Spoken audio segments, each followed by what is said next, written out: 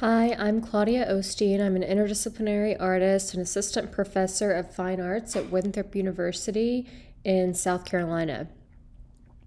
So, in my work, I combine a wide range of media such as performance, sculpture, video, drawing, um, installation. My work is highly research based and I often collaborate across disciplines. Um, this top image is me looking at a glacier in the uh, in the Arctic. The bottom image is a collaboration with NASA's Airborne Science Program in Mountain View, California. So, in my work, I develop systems, processes, and tools to understand something, and then I'll repeat that process over and over. And then I examine the failures, abnormalities, or anomalies in that process. So, a lot of my work is somehow about the idea of failure, and I often attempt things that I know were impossible. Um, for example, in this first image, um, this was a collaborative project, and I was following the, in the footsteps of a failed Arctic explorer. I also look for the moments when technology fails to capture something in the world around us. Failure itself draws a distinction. Where failure occurs, there is a frontier. It marks the edge of the acceptable or possible, a boundary fraught with possibilities. This mixes certainty and insecurity. It taunts us to try again and tells us firmly to stay back. The failure tells us clearly where our limitations at the moment are. A few minutes later, it might be different. So, in this body of work, Leveling Network, um, it focuses around a tide gauge in Kronstadt, Russia. I completed a residency here at the Russian National Center for Contemporary Art in St. Petersburg, and I became really interested in this place. Um, so the yellow building that you see here is the is that where the tide gauge is housed, and this is the zero level of the Baltic, Baltic system of depths and heights. So, analog tide measurements began in Kronstadt in the 1700s by order of Peter the Great, and this was originally done as a protection against flooding from the Gulf of Finland. And these measurements continued throughout time and they're still completed today. So, this makes the Kronstadt tide gauge one of the largest archives of tidal data. And originally, the, um, the measurements were done um, just below this bridge um, they were analog measurements where they would literally just look at the water line up against um, this ruler like tool. Um, then they started to use a, a, a weighted system that would um, bob up and down with the water and mark onto a piece of paper, which was still another um, slightly more complex um, analog way to um, measure this tidal data. And so, just to give you a sense of where Kronstadt is, um, here's St. Petersburg, Russia, and here's Kronstadt. It's located about an hour outside of St. Petersburg. Yuri Gagarin was the first man in space, and he called Kronstadt the hub of the universe because all depths and altitudes, even the heights of spacecraft, are measured from the sea level measurements taken from that exact spot. Uh, the island was not open to the public, even to Russians, until several years after the fall of the Soviet Union. So the research process has been really complicated and full of holes. Um, and because all measurements are based on data collected at the single location, it's often viewed as obsolete. And actually, some surrounding Baltic countries are in the process of transitioning from this system of measurement, which means there will be about a 10 inch increase in absolute heights. So I was really interested in that process of switching over.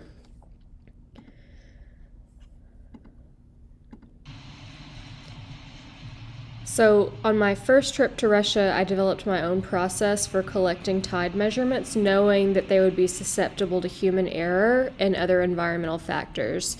And this is a video that explores that process. I created my own devices for this, and I also did drawings to document the conditions that existed there that day.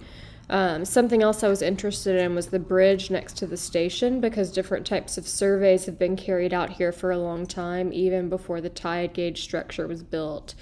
Uh, and you'll see the um, the image to the on the left of the screen here, these two bars.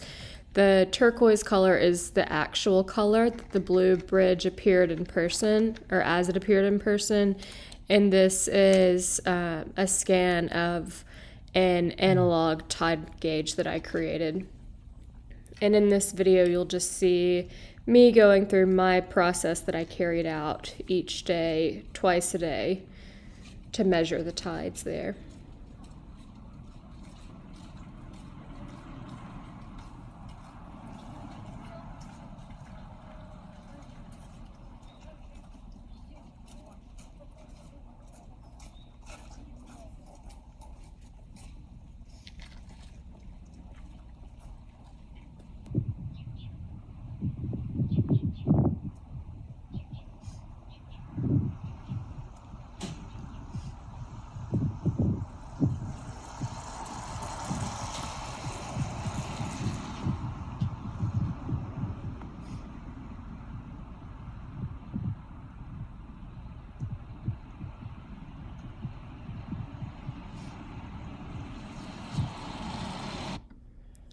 So, through my studio window, I could see the dome of the city's naval cathedral, and this sort of became a beacon for me and started to inform my process.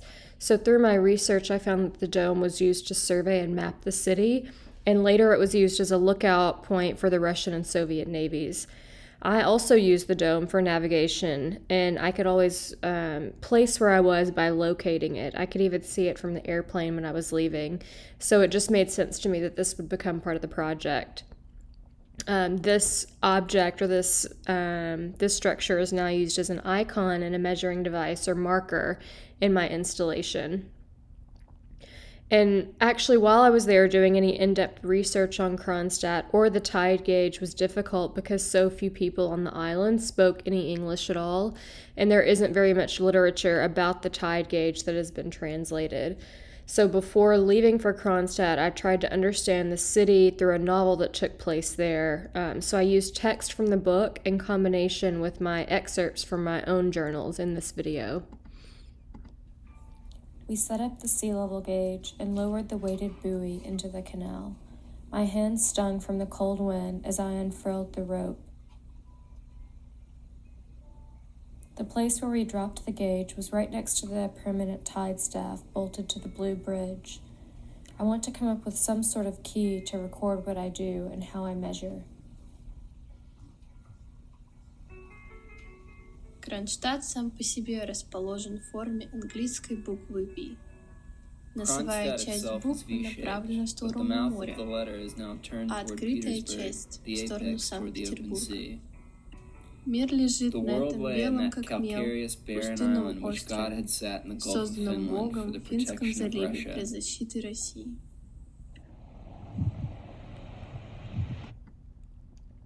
And so this is actually um, an image of the um, the Naval Cathedral Dome that you could see when I went out on a boat. And so, anywhere I was in the city, even when I was in St. Petersburg, I would try to locate uh, where I was in relation to the Naval Cathedral.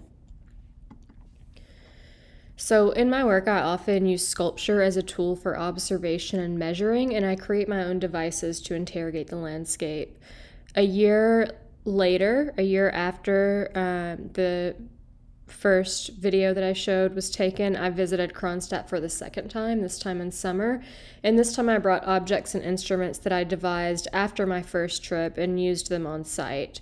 I created my own logo, surveyor benchmark, and surveyor flag, and this became a performative process. I also became interested in the way that the city uses the tide gauge, their daily collection of analog and digital measurements, and what role this analog ritual plays in the community because this tide gauge has some of the oldest collection of measurements in the world, I started to wonder how it might be used to look at sea level rise and changing coastlines. I have talked a lot with researchers at the Moscow State Oceanographic Institute to understand what role, if any, the tide gauge plays in their research. And because of the way um, information was handled during the Soviet era, throughout perestroika and into current Russia, there are a lot of gaps in the information. So it was hard to um, understand, or it seemed as if um, this tidal data didn't play a huge role in the way that um, these scientists are understanding climate change and how it's affecting the region because there are so many gaps in the data. So the bridge at the site of the tide gauge is called the Blue Bridge, and it's an important part of Kronstadt's history. And the color of it is often referred to in association with the tide gauge, and it's used for giving directions to the site. I learned through my research that the color was relevant or important to the history of the bridge, but no one could ever tell me why, or I couldn't ever find out. And so um, this sort of became a mystery and uh, something that I was trying to understand, and I wanted to communicate that I was trying to understand the importance of this color throughout the work.